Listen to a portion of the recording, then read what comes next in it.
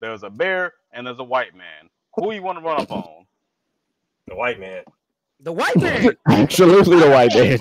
I'm gonna catch my motherfucking thing with the white you got to pay for some transgressions, motherfucker. So yeah, I caught you one on one. Oh yeah. And I'm on a full speed sprint trying to drop kick that motherfucker. Over there, like, Absolutely. over like, get out. I can absolutely get away from the white man. I'm not getting away from the bear. Now, now if he got it. it, now if he unfortunately if he got a pack of wild dogs on a leash, oh, Well, you know, yeah. we you know, they're like like I Django, you I know, we get we kind of screwed. white But man. I can't.